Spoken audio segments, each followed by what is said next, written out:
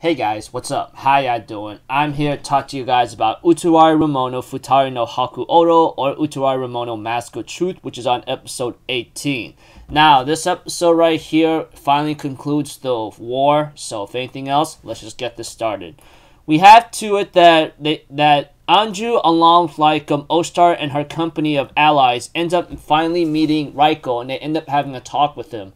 Raiko cares and loves the Mikado as Mikado loves its people. However, Raiko believes that they have been coddled too much and have been babied, or should I say, been taken care of too much. What will happen if that emperor disappears or he abandons us, huh? He will. We have to learn how to take take our own stand with our own two feet and learn how to walk on our own, you know, without any help. And this is pretty much true. Like, um, when it comes to a king, they will always want to protect their like um, subordinates or people because that's their that's their duty. They have to help them. They have to teach them everything. But eventually, we have to walk on our own without our leader. Eventually, eventually, because like um, that's just life. I mean, think about it. As human beings, as we grow older, you know, we we walk on our own and decide, make our own decisions, and accept whatever consequences that come afterward. Well that depends how much of a good human being you are. That is, I mean, like there are always evil douchebags out there that has no care about the consequences of their own actions, but gets fearful of what's to come. Yada yada yada. Well, who kn- who knows? But Raiko just believed that he wanted to bring Yamato to a better place, like the nation Yamato to a better place, and that he was ready to accept his own death and ask Ostar to do the finishing blow. However, we have to it that one of his like loyal subordinates, Shi- Shirichika, whatever her name is, Shichiri, Shichiria, Shi- Shichiria, Shichiria, Shichi. Uh, how do you pronounce that freaking woman's name? I don't know who who is she. Is. Ah.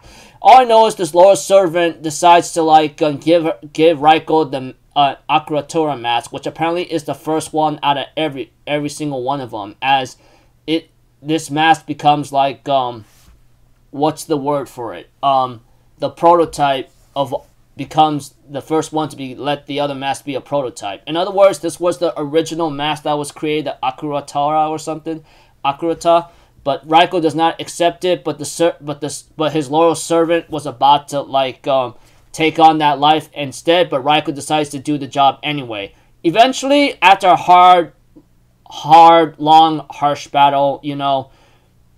Ostar, Anju, they all manage to defeat Raiko, and Raiko therefore fall, falls into the abyss of the forest, etc., you know?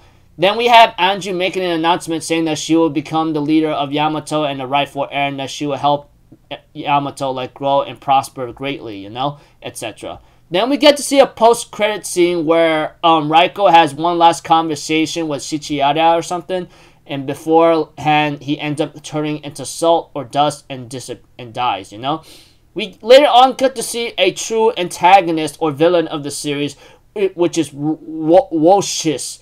Woshis, whatever that freaking idiotic fool's name is. All I know is he had all this planned out. He's the one that opened the gate to Yamato. He's the one that had the assassins ready to like um what you may call it um go into killing mode, you know, that kind of thing, yada yada yada. And then he actually set up Raiko to actually die, but he wanted Raiko, he wanted Raiko to take take him take like um what you call it um Ostar with him, but sadly though that didn't that was too much to ask.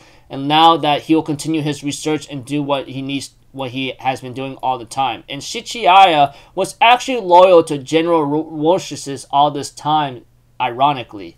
But whatever the case may be, we'll have to see what comes next. But know this: that the until that guy is dead, the time of peace is only temporary, and a new threat arises. So yeah, pretty much it's not over yet. Things are about to get very hectic for our for our heroes or something, but we'll have to see how that goes. Yo, yo. All right. Um, I think I'm, I'm gonna end up here, guys. I'll see you guys later. I'm Alpha Zero. Have a good day, and I'll see you guys next time. All right. Peace out. Bye bye. Ta-ta-da!